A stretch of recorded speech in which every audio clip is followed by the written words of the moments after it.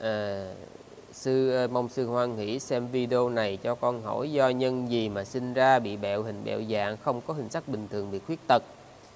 À, sư cũng không cần phải coi nhưng mà cái nguyên nhân mà mình sinh ra bị khuyết tật á à, nó có hai nguyên nhân. Một là mình sinh ra làm người lạc vô nhân à, và hai á, là mình đời trước mình phạm cái giới nói dối. Nếu đời trước phạm giới nói dối á, đời này á, mình sẽ là người kỳ hình dị tướng.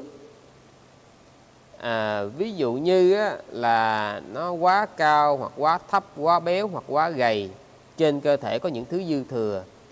À, à hình như đúng rồi đúng rồi. Trong tất cả các giới tức là năm giới cư sĩ tại gia quý vị phạm bất kỳ giới nào thì cũng sẽ dẫn đến kỳ hình dị tướng. Mỗi một giới sẽ có những cái khuyết tật khác nhau. Ví dụ người phạm giới tài dâm thì đời sau sanh ra có thể bị đuôi mù câm điếc. À còn cái người sát sanh á, thì đời sau sanh ra thì à, họ sẽ có hình tướng xấu xí. À, người nói dối thì đời sau sanh ra họ có thể bị câm.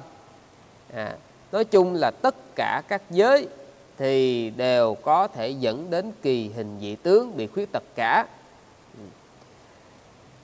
Còn à, cái mà chính bởi vì phạm giới chính bởi vì phạm giới à, cho nên là mình mới kỳ hình dị tướng. Và cái thứ hai là um, sanh làm người lạc vô nhân thì do đâu sanh vào người lạc vô nhân?